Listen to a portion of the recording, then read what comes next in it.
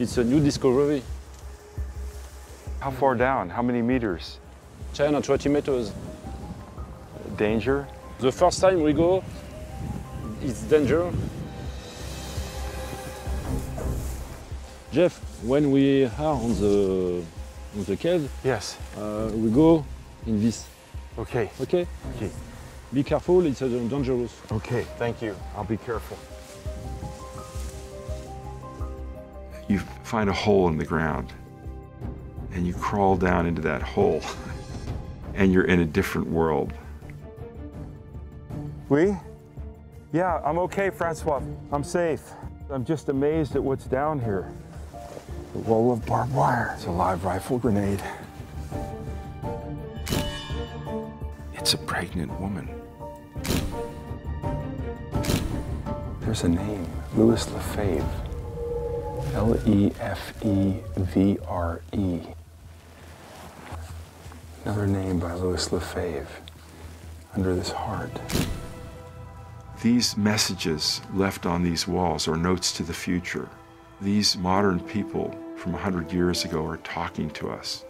They're telling us that we are vulnerable just like they were. And World War I gives us a way to look at ourselves without being right or left, with no politics involved, to see our own vulnerabilities, to see how quickly, when we lose conscience and human decency as the governing force in our life, how quickly we can end up in a nightmare and lose everything we hold dear. I'm often asked about how I found the hidden world of World War I. It was, like so many things in life, a coincidence. I was on a six week trip that was arranged with the help of the French Defense Ministry. The result was that I met local people and became friends with them. We bonded around the preservation of this, what they call patrimony, this history. Even though we don't speak the same language, photography is a language, art is a language.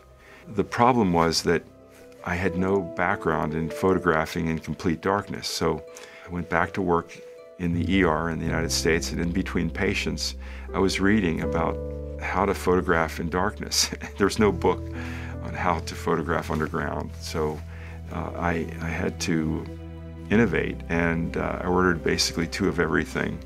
And the first time that I came to the place that we are now, which was the first stop on my return trip, we had something like 700 pounds of gear that we lowered down on a rope almost 30 feet underground. It took about an hour just to transport it by wheelbarrow deep into the site. And that's how the process began. On the walls of these underground cities, you find representations of the inner life of these soldiers in a moment in time when they were facing the first modern mass destruction, where they could be gone the next day or the next hour. There really was no other place to go where you could have some sense of security that when a bomb hit above, you wouldn't be blown to smithereens.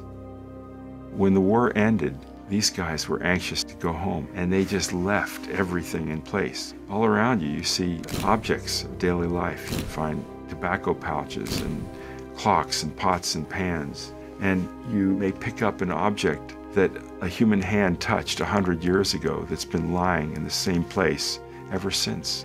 It's surreal. Looking at World War I, not as history, but as today, as a way of understanding ourselves and our lives, as a way of connecting to what's important about our humanness. World War I was a pivot point where technology and progress overtook our lives. We can never go back. We can never become non-modern. Modernity is with us. Modern life is, is something that gives us great advantages. But World War I helps us to find a place inside where we can hold on to our humanness. And that's why it's important. Thank you. That was part of the uh, exhibit, that uh, the 18-month exhibit at the Air and Space that just finished up a few weeks ago. In the ER, we form intimate bonds with complete strangers in a split second. about real danger. It's never right or left, black or white, gay or straight, rich or poor, educated or uneducated. It's just human.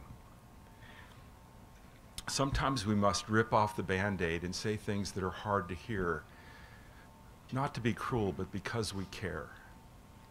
In the next 20 minutes or so, I want to scare the hell out of you and also give you real hope.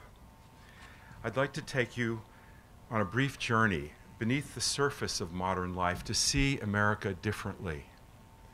I believe that as Americans, we are now at war with ourselves. I'd like to challenge each of you to question why and ask what you can do with your businesses to thrive in the chaos.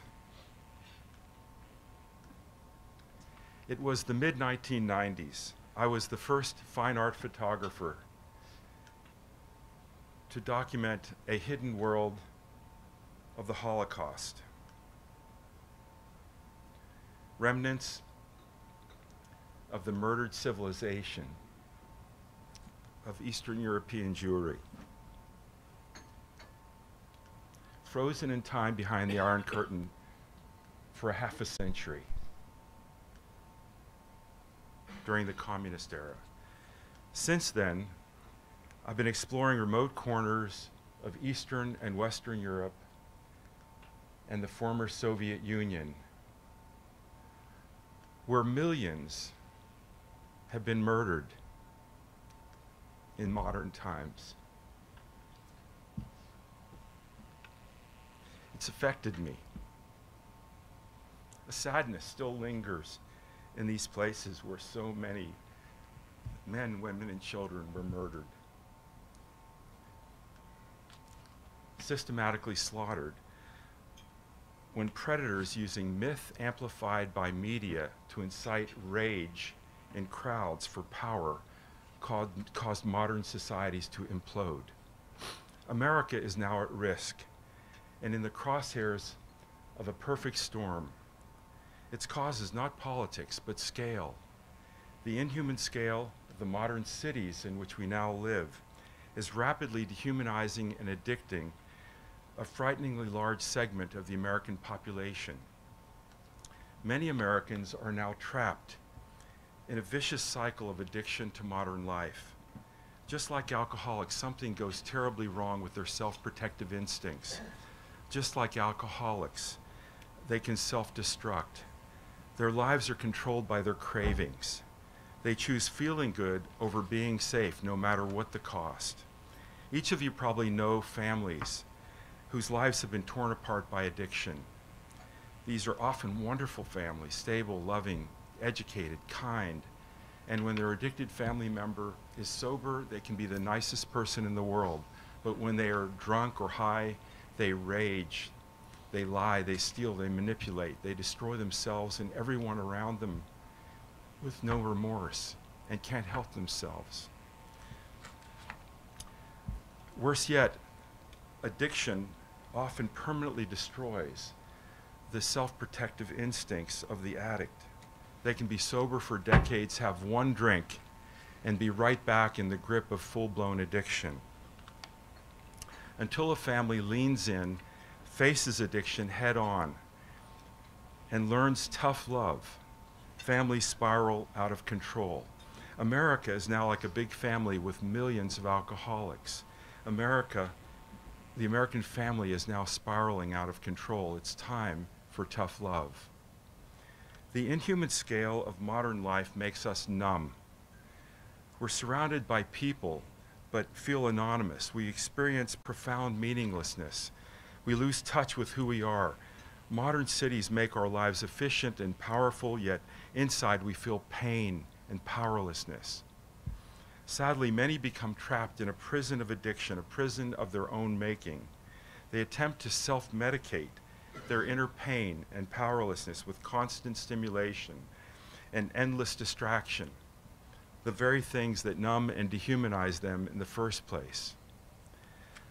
But this perfect storm is so much more dangerous than we realize because at the very moment that Inhuman Scale is transforming America into a nation of addicts, scale is paralyzing America's immune system. Checks and balances that have protected America from tyranny and, and political extremes for over 200 years aren't working. The country's survival is teetering on a dangerous demographic edge because so many American voters are unwittingly addicted and self-destructive just when checks and balances are no longer keeping us safe. Now I want to worry you even more. ER docs routinely confront predators, the Bernie Madoffs of the world, people who have a pathologic absence of conscience and who prey upon the vulnerabilities of others with absolutely no remorse. ER docs ask probing questions and develop a finely tuned BS meter to identify and stop child abusers, elder abusers, drug seekers, con artists. We care for uh, rapists, murderers, arsonists, and other very dangerous people. We may literally provide medical care for a child abuser in one room and a two-year-old with a toy bead stuck in their ear in the next. At times we're fierce and at times we're kind. We're very sober about the dark side of human nature without being dark. We're not ashamed for having healthy self-protective instincts. Using a diabolical scheme invented on the streets of Paris 125 years ago during the Dreyfus Affair, only two years after the birth of mass media itself. Predators shamelessly deploy myth amplified by media to create rage in crowds for power. Rage is a highly addictive drug that many who are addicted to modern life crave to self-medicate their pain and powerlessness and to make them feel alive. Predators like drug dealers dispense the drug of rage to addicts who self-medicate the pain and powerlessness caused by the inhuman scale of life in modern cities. This scheme is so potent that predators can ignite mass movements that become powerful constituencies of rage. When checks and balances don't work, there's nothing to stop predators from transforming people into weapons of mass destruction and setting a society on fire. This scheme, invented on the streets of Paris in the 1890s, is nothing more than a formula to create anarchy. Predators focus the crowd's rage on an arbitrary demon, usually a vulnerable minority like Jews, uh, Rwandan Tutsis, Bosnian Muslims, but it could be anything, including your business. Next, they convince the enraged crowd that they've been maliciously victimized by the imaginary demon singled out by the predator. The predator then lights the fuse by calling for revenge. Mass rage explodes into mass violence. This evil scheme has caused the brutal murder of millions in modern times. America is not too big to fail.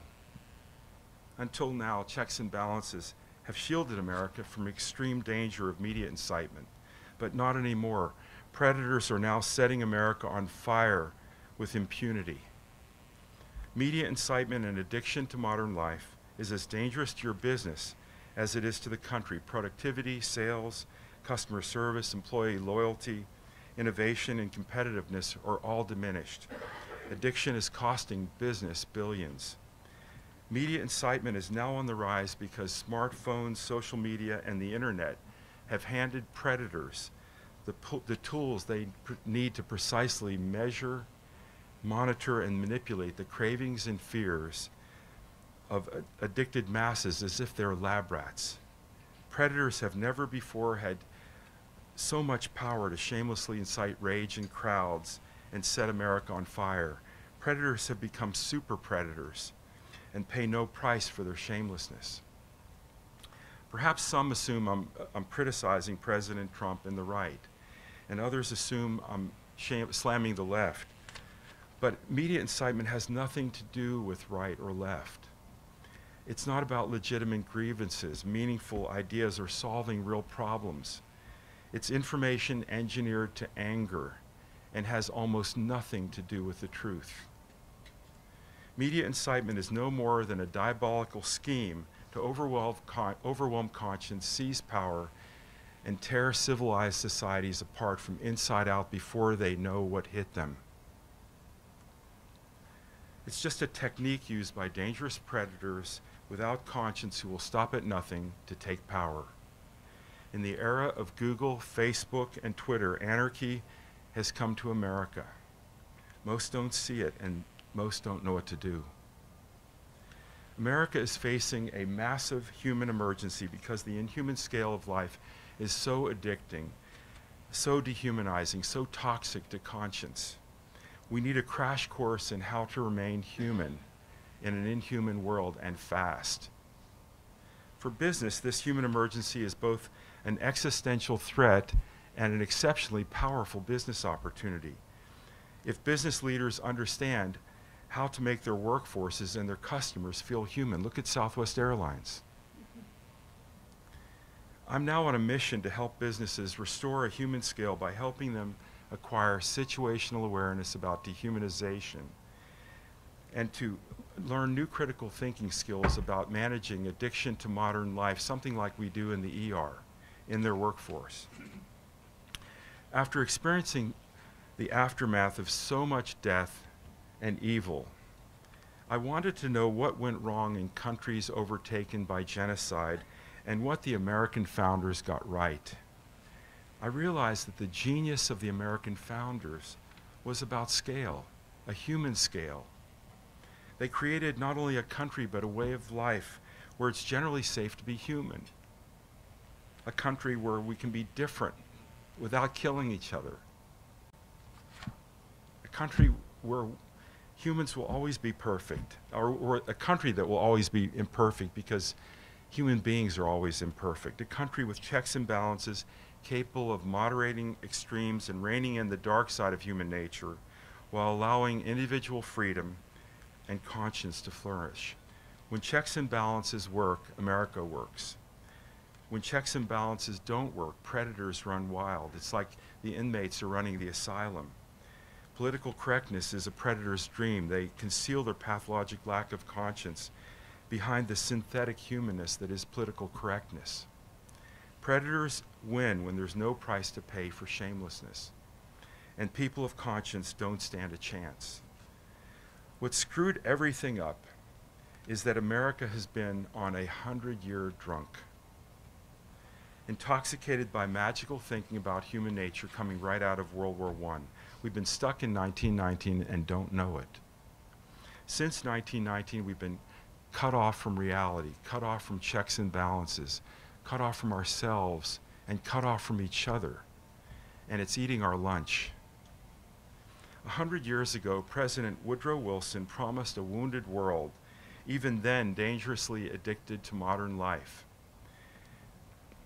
which had just marched blindly into the meat grinder of World War I, that a bold new reality would save mankind forever. He proclaimed that a new era in human history had dawned and called on people to place blind faith in progress as a moral force that now had the power to permanently eradicate evil by perfecting human nature itself. He told the world that World War I was the war to end all wars. Wilson uplifted societies which were on the verge of civilizational collapse by convincing them that perfection of human nature was not only possible, but was the new standard for the new age. It didn't matter that Wilson's myths about human nature were pure fantasy. They felt so incredibly good that people became drunk on magical thinking. We've been drinking Wilson's Kool Aid ever since. A hundred years ago, people addicted to modern life chose feeling good over being safe. Who needs checks and balances in a world where you believe that modern science will permanently eradicate evil? We've been playing Russian roulette with the dark side of human nature for a hundred years. Tens of millions have died since World War I in what has been the bloodiest hundred years in human history. Many still embrace President Wilson's impossible standard of perfection because it feels beautiful and morally superior. But self loathing has now replaced self confidence. American business is trying to compete in a world marketplace with one hand tied behind its back because so many Americans are ashamed of being American and are conflicted about winning. We hate ourselves because no matter how hard we try, we're still mortal, we're still imperfect, we're still human. Since World War I, we have been at war with ourselves and don't know why. This is why. To understand the dangers of inhuman scale and addiction in modern life, it helps to know a little bit about World War I. Modern cities had been around for about 40 years when the world went to war in 1914. Highly educated, modern people on both sides marched enthusiastically into a meat grinder that was right before their eyes. The dazzling scale of modern city life had blinded them to the danger staring them in the face. They were cocky, addicted, and blind, but they didn't know they were cocky, addicted, and blind. Have you ever heard of August Mania? In early August 1914, at the outbreak of war, huge numbers on both sides were marching in the, in the streets drunk with excitement. They saw World War I as a religious experience that would break through modern numbness, medicate modern meaninglessness, and reconnect them to their inner lives by bonding with their countrymen around a noble cause. They all thought they'd be home by Christmas, but by Christmas, a million were dead, and there was no end in sight. They were trapped with no way out in the world's first modern mass destruction. The playbook of media incitement, then only 20 years old, mobilized millions of people in neighboring countries who didn't really have a beef with one another to kill each other by the millions for no good reason. The world was shocked to discover that the wonders of modern progress had a dark side. The very same technologies that made life in cities so powerful, so exhilarating, so efficient, were capable of destroying civilization on a scale beyond anything anyone could imagine. When the inhuman scale of technology is allowed to reign without checks and balances, the genie of modern mass destruction comes out of the bottle and destroys everything in sight. It sounds like science fiction, but it really happened. If we place blind faith in modern progress and fail to remain human while living in environments of inhuman scale, we're toast.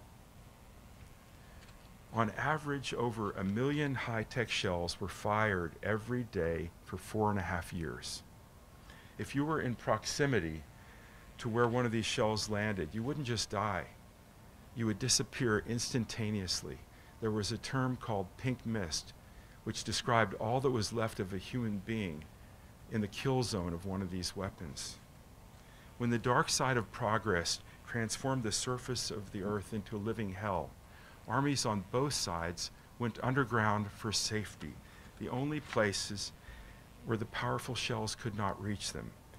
Here the soldiers recreated a human world.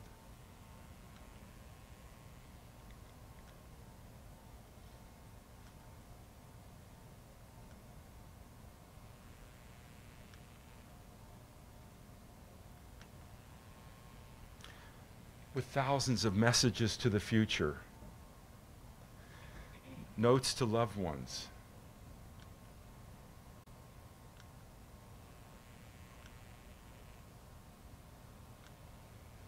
This is uh, H.R. Marbury from Fort Worth, Texas. Mm-hmm. And beautiful works of art that reveal their inner lives while facing the world's first modern mass destruction.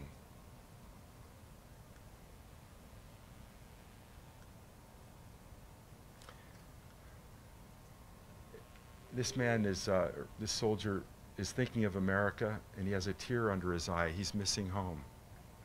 At any given time, tens of thousands of soldiers on both sides lived in modern underground cities beneath the trenches.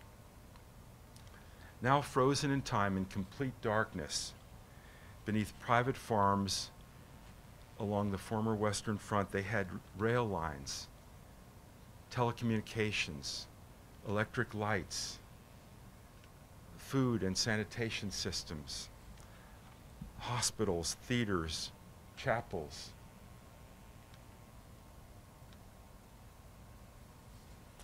Living quarters, street signs. This says, to the trenches, even U.S. mail. The largest underground city I photographed was over 25 miles in one place underground. They're like subway stations that go on and on and on. Until 2014, when National Geographic featured my photographs of this hidden world of World War I, it was all but unknown.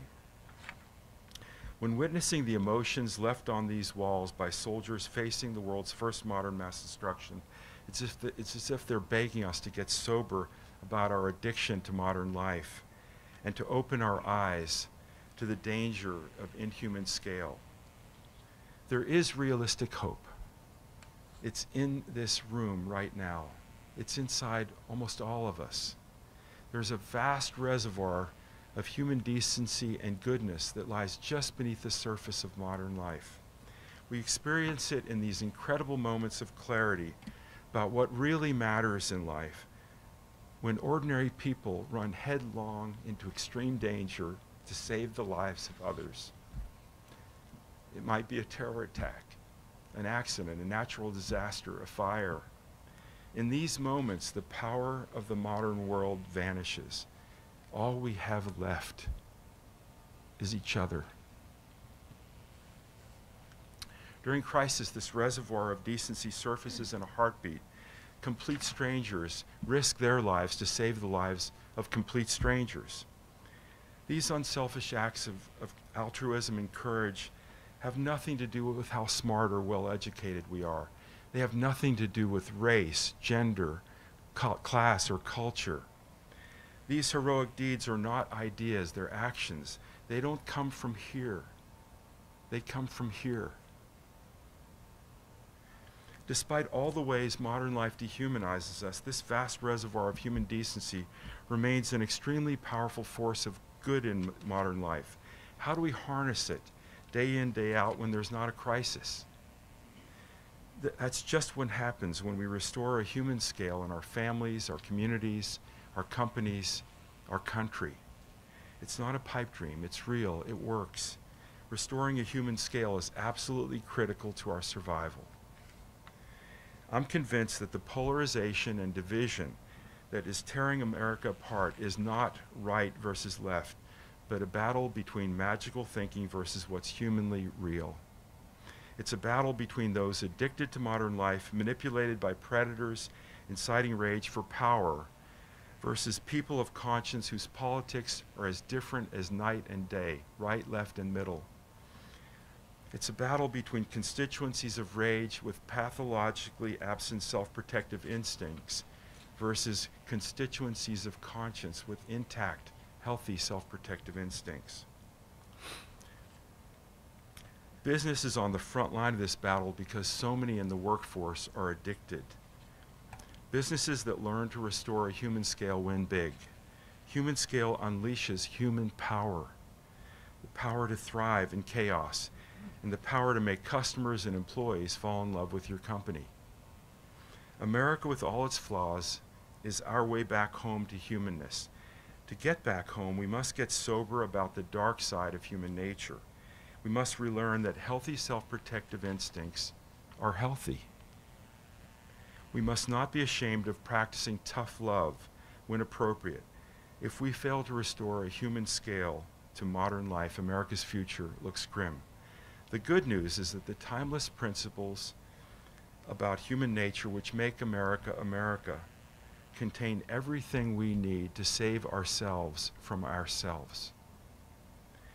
But we must get unstuck from 1919 and must get over the hundred year drunk and fast as we hurtle towards a time when robots and artificial intelligence increasingly seduce people addicted to modern life to choose feeling good over being safe, America could very easily reach a point of no return, which we won't recognize until it's too late. We desperately need a new American revival, which means checks and balances for the 21st century that work. And if we do this, and we can do this. We will be fine.